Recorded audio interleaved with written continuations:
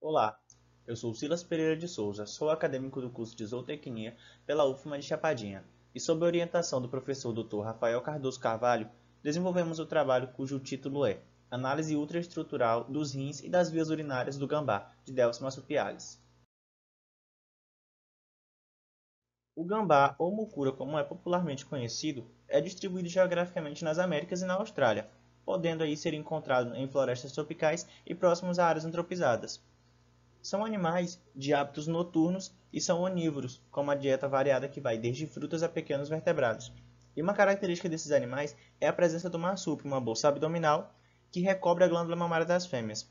Pesquisas acerca do estudo anatômico, funcional, evolutivo e filogenético desses marsupiais para o desenvolvimento da anatomia comparada é extensamente documentada. Entretanto, quando se trata dos rins e vias urinárias, essas pesquisas são escassas ou nulas.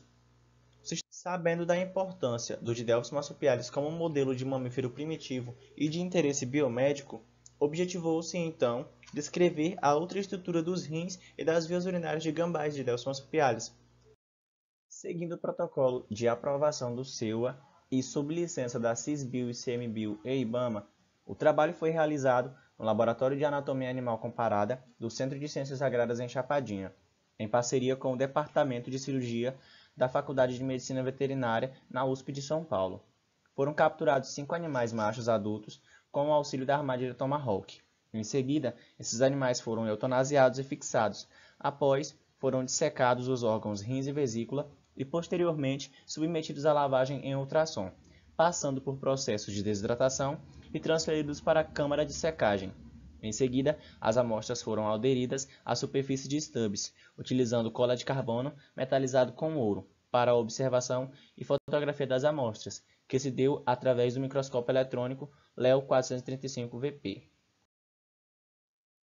Os resultados demonstraram que os rins do Didelphis marsupialis possuem parênquima dividido em duas regiões, uma cortical e uma medular, a zona cortical é caracterizada pela presença dos corpúsculos renais, túbulos contorcidos distal e proximal e túbulos coletores, enquanto a zona medular é composta por uma rede de ducto coletores. A vesícula urinária apresentou mucosa formada por um epitélio de transição e uma lâmina própria de tecido conjuntivo. Foi observado também feixes de tecido muscular em torno da mucosa. Concluímos então que a outra estrutura dos rins e vesícula urinária do Didelphis marsupialis apresentam características que se assemelham aos padrões dos demais mamíferos descritos na literatura. Aqui estão algumas das principais referências do trabalho. Muito obrigado pela atenção.